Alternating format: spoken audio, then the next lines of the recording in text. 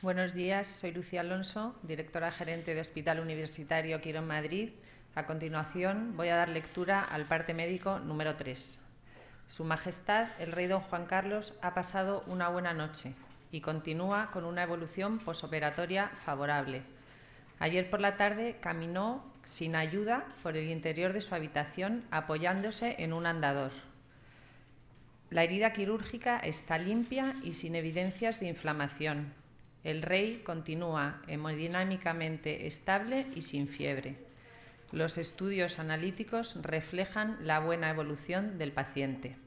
Firma este parte médico el doctor Miguel Fernández Tapia Ruano, jefe del Servicio Médico de la Casa de Su Majestad el Rey, y el doctor Miguel Cabanela.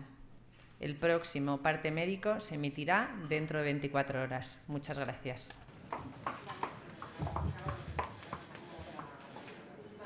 Capilla